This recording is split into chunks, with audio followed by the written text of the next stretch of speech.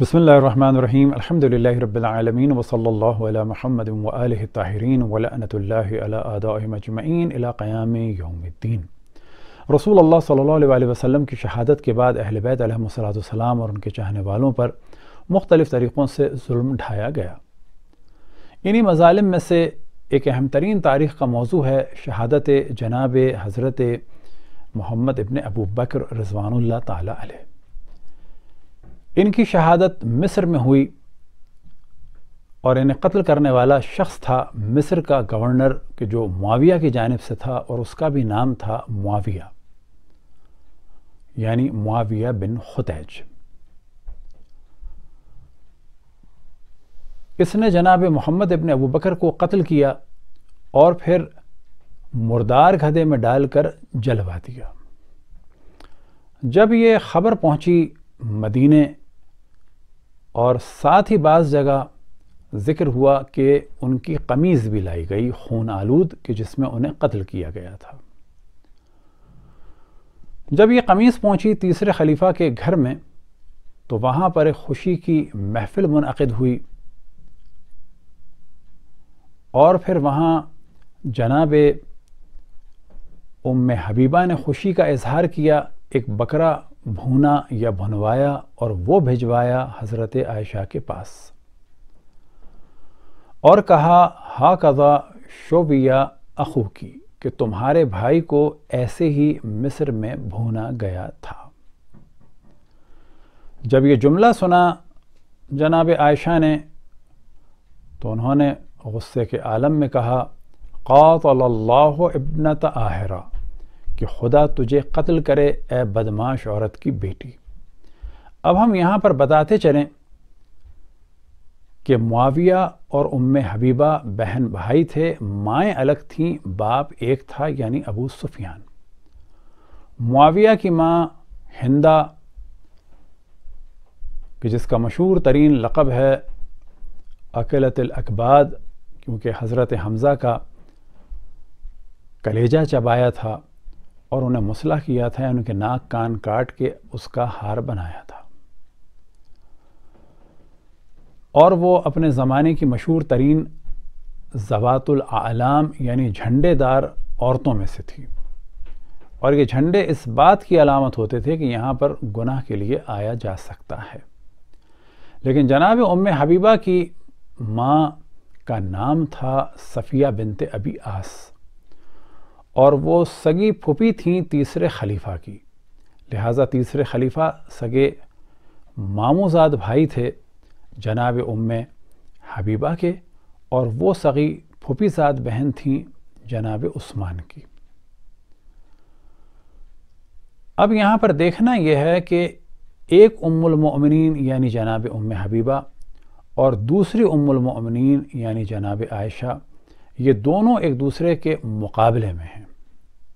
وجہ کیا ہے کہ ایک کے بھائی کو دوسرے کے بھائی نے قتل کیا ہے۔ اب یہ بھائی کون ہیں؟ جیسے کہ معاویہ کے لیے کہا جاتا ہے خال المؤمنین یعنی مومنین کا ماموں۔ اب عجیب بات یہ ہے کہ اشرف الانبیاء کی گیارہ ازواج میں سے صرف ایک ہی کے بھائی کو یہ لقب ملا خال المؤمنین یعنی حتیٰ حضرت عائشہ کے بھائی جناب محمد ابن ابو بکر کو بھی نہیں کہا جاتا خال المؤمنین یعنی مؤمنین کا ماموں۔ تو یہاں پر ہم دیکھتے ہیں کہ ایک ماموں نے دوسرے ماموں کو مار دیا اور ایک ماں خوش ہیں اور دوسری ماں گریا کر رہی ہیں۔ جناب ام حبیبہ کی وفات فورٹی فور میں ہوئی اور بلا شک جنگ سفین کے بعد ہوئی اور وہ اس جنگ میں بھی اپنے بھائی کے طرف داروں میں سے تھیں۔ نہ یہ کہ وہ مخالفت کرتی اور کہتی کہ یہ رسول کے داماد ہیں، بھائی ہیں، علی ان سے جنگ کرنا حرام ہے اور میں نے روایتوں میں یہ سنا ہے اور یہ سنا ہے۔ انہوں نے ایسا کچھ نہیں کیا۔ اور اپنے بھائی کی طرف دار رہیں اور بھائی کے جرائم میں بھی ان کو سپورٹ کرتی رہیں۔ یہاں تک کہ مصر پہ قبضہ ہوا تو اس کا مطلب ہے وہ اس سے بھی راضی تھیں، مصر کے گورنر سے بھی راضی تھیں اور گورنر کے جرم سے بھی راضی تھیں کہ اس نے جناب محمد ابن ابو بکر کو قتل کیا یعنی معاویہ بن خدیج نے اور ساتھ میں امر آس بھی تھا۔ تو روایات میں نقل ہوا کہ حضرت عائشہ اس کے بعد ان دونوں کو بد دعا دیتی تھیں۔ اب یہ جو شور ہے ام المؤمنین کا، تو ہم بتاتے چلیں کہ تفصیل سے انشاءاللہ اسے ہم قریب ڈسکس کریں گے۔ ام المؤمنین کے صرف یہ معنی ہے اور یہ نتیجہ ہے کہ بعد اشرف الانبیاء حضرت محمد مصطفیٰ صلی اللہ علیہ وآلہ وسلم مومنین ان سے شادی نہیں کر سکتے۔ اور اس سے زیادہ کوئی نتیجہ نہیں ہے اس چیز کا۔ چہ جائے کہ ان کے بھائیوں کو ماموں بنا دیا جائے، تو یہ بالکل ایک بے اساسی بات ہے۔ اب جب بات کی جاتی ہے امہات المؤمنین کے اختلاف کی، تو بعض دفعہ لوگ کہتے ہیں کہ وہ عام خواتین نہیں ہیں۔ ہاں عام خواتین نہیں ہیں۔ حضرت نو اور حضرت لوت کی بیویاں بھی عام خواتین نہیں تھیں، نبی کی بیویاں تھیں۔ لیکن ان میں کمی یہ تھی کہ وہ حضرت نو اور حضرت لوت اپنے زمانے کے انبیاء یعنی ان کی اطاعت نہیں کر رہی تھیں۔ یا بالفاظ دیگر وہ اللہ کی اطاعت نہیں کر رہی تھیں، لیکن وہ عام خواتین نہیں تھیں، نبی کی زوجہ تھیں۔ لیکن ان میں برائی کیا تھی کہ وہ اللہ رسول کی اطاعت نہیں کر رہی تھیں۔ اب اگر وہ اطاعت کرتی تو ممکن ہے حضرت حاجرہ اور حضرت سارہ جیسی ہوتی تو اللہ سبحانہ و تعالیٰ کا ارشاد ہے رسول اللہ صلی اللہ علیہ وسلم کی ازواج کے بارے میں، سورہ حضاب آیت نمبر 32 بسم اللہ الرحمن الرحیم۔ یا نساء النبی، لستن کا من النساء ان اتقیتن۔ اے نبی کی بیویوں، تم اور عام عورتوں کی طرح نہیں ہو اگر تم پرہیزگاری اختیار کرو۔ تو یہاں سے پتہ چلا کہ یہ عام خواتین جیسی نہیں ہیں، کب تک جب تک کہ یہ پرہیزگاری اختیار کیے رہیں۔ لیکن اگر یہ پرہیزگاری کو چھوڑ دیں یعنی تقوی الہی کو چھوڑ دیں تو پھر ظاہر ہے کہ عام لوگوں سے بھی گر جائیں گی۔ وجہ یہ ہے کہ جس نے نبی کو دیکھا ہو، ان کے معجزات کو دیکھا ہو، ان کی باتوں کو سنا ہو، اس کے بعد بھی ان کی بات کو نہ مانے، تو بلا شک وہ زیادہ قابل مذمت ہے ان لوگوں کی نسبت کہ جنہوں نے نبی کو نہیں دیکھا اور ان کی بات کو نہیں سنا۔ آپ کے سامنے ہے تاریخ تبری جل نمبر تین اور صفحہ نمبر ہے تین سو پانچ۔ آخری لائن ہے معاویہ بن خدیج۔ اب یہ بھی ایک صحابی ہے، لکھا ہے آگے رضی اللہ۔ معاویہ بن خدیج نے محمد سے کہا، کون محمد؟ یعنی محمد ابن ابو بکر، جو اس وقت وہاں پر مولا امیر المؤمنین کی جانب سے مصر کے گورنر تھے۔ کیا تو جانتا ہے کہ میں تیرے ساتھ کیا سلوک کرنا چاہتا ہوں؟ میں تجھے گھدے کی کھال میں سیوں گا، پھر اسے آگ میں جلا دوں گا۔ اگلا جو ہم نے جملہ ہائی لائٹ کیا، معاویہ نے کہا، تو میں تجھے عثمان کے قصاص میں قتل کر رہا ہوں. اس دوران گفتگو ہوئی اور جناب محمد ابن ابو بکر نے جناب عثمان کے بعض موضوعات کو ڈسکس کیا اور کہا کہ وہ غلط کر رہے تھے، اللہ کے حکم کے خلاف حکم دے رہے تھے۔ لہٰذا جو ان کا قتل ہوا وہ صحیح ہے۔ راوی کہتا ہے اس سے معاویہ کو غصہ آیا، اس نے آگے بڑھ کر محمد کو قتل کر دیا، پھر اسے گھدے کی کھال میں لپیٹ کر آگ میں جلا دیا۔ حضرت عائشہ کا افسوس، جب حضرت عائشہ کو محمد کے قتل کی اطلاع ملی تو انہیں اس کا بہت افسوس ہوا۔ اس واقعے کے بعد حضرت عائشہ ہر نماز کے بعد معاویہ اور امر کے لیے بد دعا کرتی تھیں۔ اب کمال کی بات یہ ہے کہ یہ پورا واقعہ ان دو لائنوں میں بیان ہو رہا ہے کہ وہ بد دعا کرتی تھیں، لیکن معاویہ اور امر آس کے لیے رضی اللہ عنہما لکھا ہوا ہے۔ جبکہ سوال یہ کرنا چاہیے، اگر حضرت عائشہ جو ان سے مقام میں بلند تھیں، وہ اگر ان کو بد دعا دے رہی ہیں، تو پھر ان کی سنت پر عمل کرتے ہوئے ان کو بد دعا دینی چاہیے، نہ ان کے لیے ترزی کی جائے اور ان کے لیے دعا کی جائے۔ آپ کے سامنے ہے اس کا عربی متن تاریخ تبری کا اور جلد نمبر ہے پانچ اور یہاں پر یہی موضوع ہے، فغضب معاویہ فقط دمہ فقط کہ معاویہ کو غصہ آیا، وہ آگے بڑھا اور اس نے محمد ابن ابو بکر کو قتل کر دیا، ثم القاہ فی جیفت حمار اور پھر انہیں ایک مردار گھدے میں ڈال دیا، ثم احرقہ بالنار اور پھر اسے آگ لگا دی۔ وہاں جو اردو میں کھال ترجمہ کیا ہے وہ صحیح نہیں ہے، تو اصل یہاں پر موضوع ہے جیفت و حمار۔ فی جیفت حمار یعنی گھدے کے مردار میں ڈال دیا۔ اب جب جناب عائشہ کو اس کی اطلاع ہوئی تو اس کے بعد کیا ہوا کہ توتو علی معاویہ و امر، کہ وہ ہر نماز کے بعد معاویہ اور امریاز کے لیے بد دعا کرتی تھیں۔ معلوم ہوا کہ ان پر بد دعا کرنا حضرت عائشہ کی سیرت پر اور سنت پر عمل کرنے کے برابر ہے۔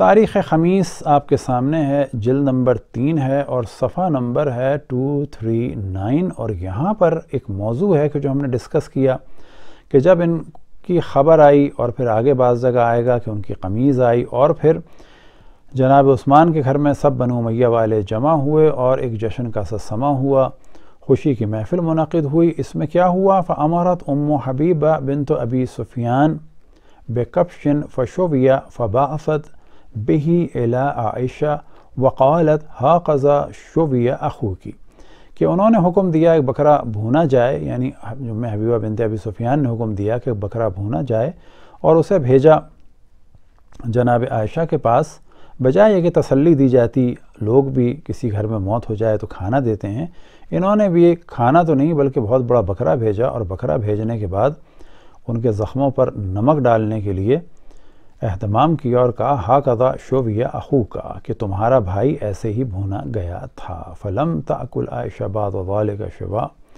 حت ماتت۔ کہ اس کے بعد حضرت عائشہ نے کبھی بھی بھنا و گوشت نہیں کھایا۔ المنتظم فی تاریخ الامم۔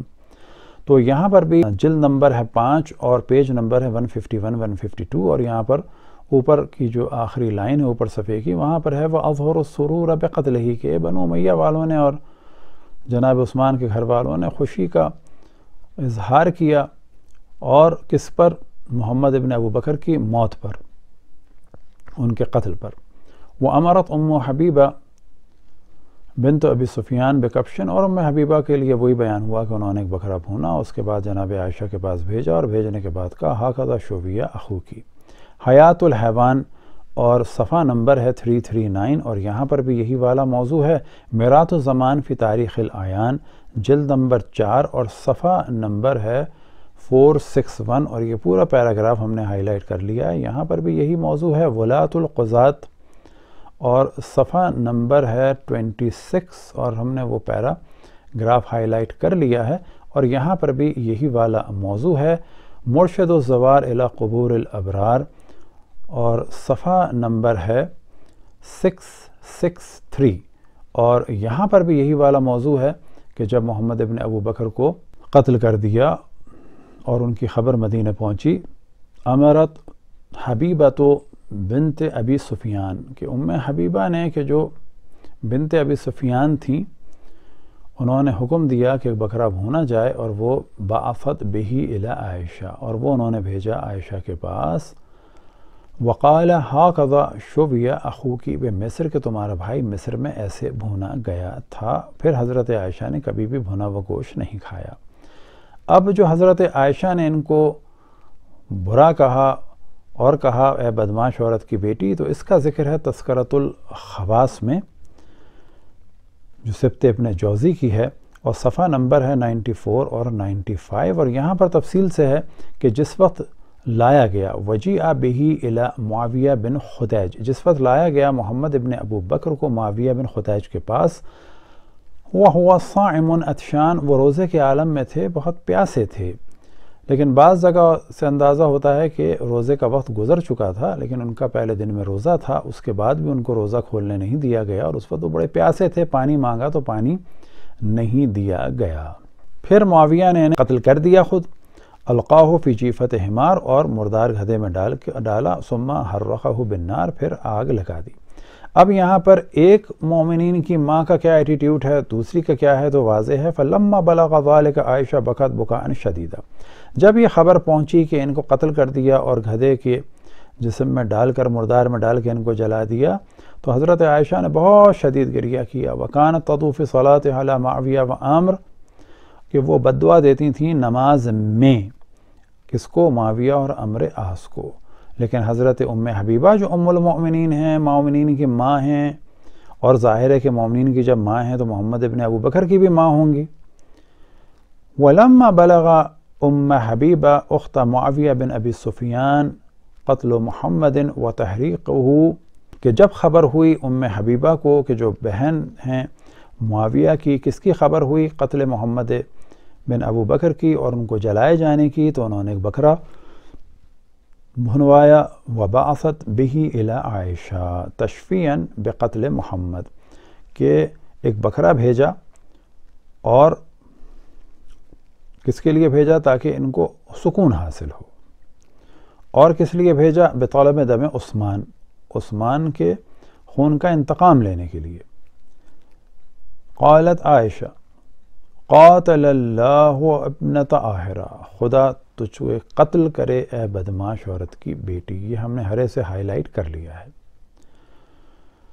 تو جناب عائشہ کی سیرت ہمیں یہ نظر آئی کہ اگر کوئی اہل بیت کے چاہنے والوں کو قتل کرتا ہے تو اس کے لیے بد دعا کی جائے، اور اگر وہ بدتمیزی کرتا ہے کچھ تو اس کو اس طرح سے گالی بھی دے دی جائے۔ اور مولا امیر المومنین کی بھی سیرت نظر آئی وبلغ علی علیہ السلام قتل محمد کہ جب علی ابن ابی طالب تک یہ خبر پہنچی، محمد کے قتل کی، فبکا و تعصف علیہ ولعن قاتلہ کہ وہ بہت روئے اور بہت غمزدہ تھے اور انہوں نے پھر لانت بھیجی ان کے قاتلوں پہ۔ آپ کے سامنے کنز العمال کا ترجمہ ہے اور حصہ نمبر ہے چھ اور حدیث نمبر ہے ایٹ زیرو ایٹ ون اور یہاں پر رسول اللہ صلی اللہ علیہ وسلم اشاد فرماتے ہیں، اے عائشہ، فحش گو نہ ہونا کہ اے عائشہ، گالی گلوچ نہ کرو۔ تو یہاں سے اندازہ ہوا کہ جو شور کیا جاتا ہے، کبھی امہات المؤمنین کے ذریعے سے بالکل ان کے کاموں کو چھپا لیا جائے، کہ جس نے بھی رسول اللہ صلی اللہ علیہ وسلم کو دیکھ لیا، اب اس کو لائسنس مل گیا، وہ جو بھی کرے، یہ سب کچھ غلط ہے۔ کیونکہ یہ دنیا بنی ہے امتحان کے لیے، انبیاء علیہ الصلاۃ السلام کو بھیجا ہے لوگوں کی ہدایت کے لیے، اور لوگوں میں بیویاں بھی شامل ہیں، بچے بھی شامل ہیں۔ جو بھی ہدایت پر عمل کرے وہ قابل تعریف ہے، اور جو بھی ان کی ہدایت پر عمل نہ کرے، خصوصاً جو اللہ کے بندوں پر ظلم کرے، وہ بلا شک قابل مذمت ہیں۔ دعا ہے کہ خداون تبارک و تعالیٰ بحق محمد وال محمد تمام مسلمانوں کو یہ توفیق عطا فرمائے کہ رسول علیہ رسول کے فضائل کو جانیں، ان کے مصائب کو جانیں اور ساتھ یہ جانیں کہ کن لوگوں نے رسول کی توہین کی، حجر و حضیان و بکواس کی نسبت دی اور کن لوگوں نے ان کے بعد ان کی آل پر ظلم ڈھایا، خصوصاً ان کی صاحبزادی حضرت فاطمہ سلام علیہ کو ڈرایا، دھمکایا، دروازے کو جلایا اور انہیں قتل کیا۔ وہ صلی اللہ علیہ محمد و طاہرین